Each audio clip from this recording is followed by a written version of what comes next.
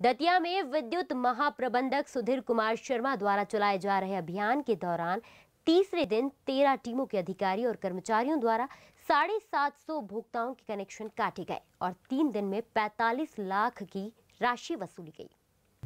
दतिया शहर में 28 से 30 जनवरी तक उपभोक्ताओं पर वसूली की कार्यवाही की गई, जिसके लिए 13 टीमों का गठन किया गया, जिसमें दतिया संभागीय कार्यालय और वृत्त कार्यालय के अधिकारी, कर्मचारी शामिल थे।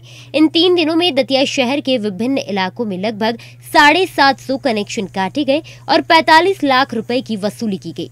विद्युत कंपनी द्वारा दतिया शहर के बिजली माफियाओं की सूची बनाई गई, जिसमें ऐसे उपभोक्ता जिन्होंने कई सालों से विद्युत बिल की राशि जमा नहीं की, उनकी संख्या लगभग पचपन है, जिसमें बड़े दो बकाया राशि वाले ठेकेदारों की कनेक्शन विद्युत पोल से काटकर केबल निकाली गई। उपभोक्ताओं द्वारा विद्युत कनेक्शन अवैध रूप से जोड़ने पर भारतीय विद्युत अधिनियम की धारा 135 138 में विद्युत चोरी एवं अवैध रूप से जोड़ने पर पंचनामा बनाकर कार्यवाही की गई। दतिया शहर में आगे भी इस तरह की कार्यवाही जारी रहेगी।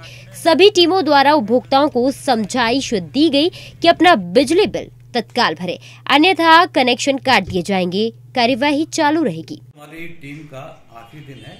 हमने 28 तारीख से ड्राइव, मैसिव ड्राइव चालू किया था। इसमें हमने सभी अपने व्रत का कार्यालय के संभागीय कार्यालय के दतिया शहर के सभी कर्मचारी अधिकारियों को शामिल किया था।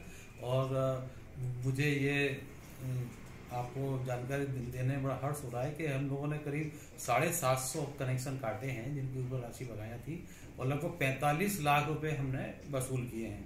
इसमें हमने उन लोगों को भी टच किया है जो बिजली माफिया हैं और जिनके ऊपर जो है बहुत सालों से बिजली का बिल बकाया है।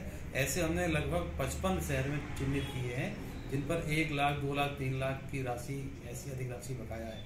उनको भी हमने उनकी सर्विस लाइन केबल काटी है, नीचे नीचे डाला है उसको और उनको ये हिदायत दी है कि आप जो है अब बिजली का उपयोग करके पाए जाएँगे। तो आपके विरुद्ध विद्युत अधिनियम की धारा एक सौ अड़तीस, एक सौ पैंतीस केस दर्ज किया गया था। जाएगा। ऐसे कुछ केसों में हमने कल चार पाँच केसों में दर्ज भी किए दतिया से रजनी लिटोरिया की रिपोर्ट।